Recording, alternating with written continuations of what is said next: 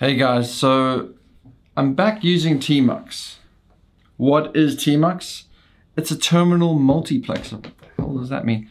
It just runs a service that sort of makes your terminals have a session so that if you accidentally destroy your terminal window, you can reconnect to it and have the same text that you where you left off. Um, I mean, that's the most simple way. But where it's useful with with ST yes, you can get a patch that makes it scroll, but it has a lot of other features that I really like. For example, if you see my configuration here, I really like um, my bind to control AP, which basically saves the whole buffer history so I can share my, my whole session with a colleague or something like this. Uh, there's another thing I really like, the control F, uh, you know, I've made a video about this. So the control F mimics the same behavior as like using a browser, you know, doesn't matter where I am, control F, find the text on the page, find the, find the text in the terminal.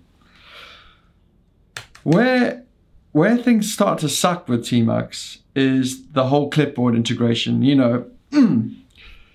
and what, when you have mouse on, when you have mouse on by default, by default, um, when you select something, it doesn't go into the clipboard you have to like shift select. I'm not shifting selecting. That's that's against my my brain. You know, it, it's against my intuition. I'm not shift selecting.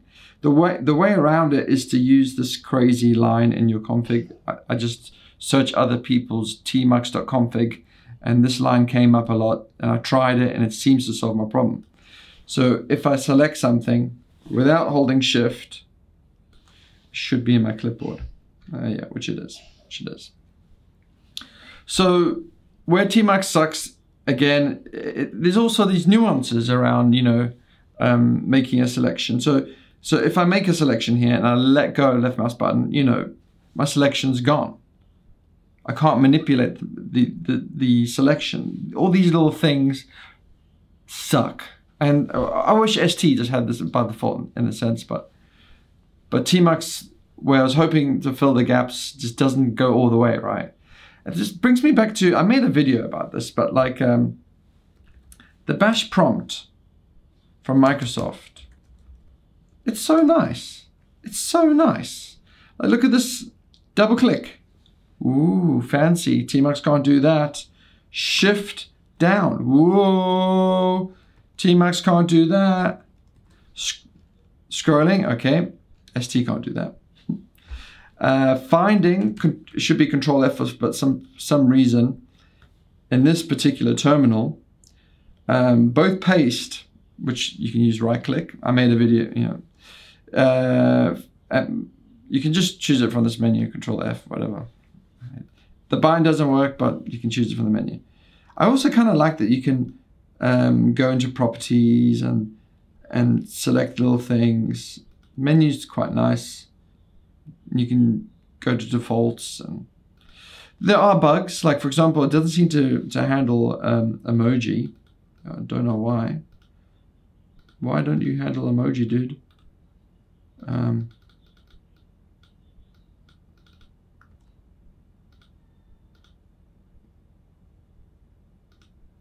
maybe maybe a font issue. I also like a, a good test for a terminal for me is like can you resize it you can see it does something strange there. I don't know why. Anyway, this brings me on to, like, I was just thinking, is my Windows terminal updated? Um, is my Windows terminal outdated?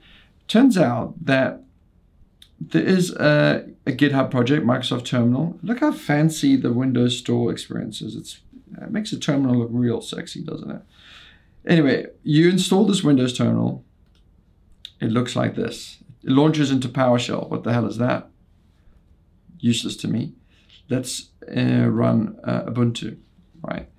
Um, things pretty much work as you expect. There's a sexy scroll, which ST doesn't have. Um, but the selection stuff, I think, doesn't quite work how I want it to. Like, you know, it doesn't. So the earlier, that, that, bash, that bash prompt works better than this new fancy shell. The settings reminds me of VS Code. Don't see where you change your font, but it has you know interesting uh, options here.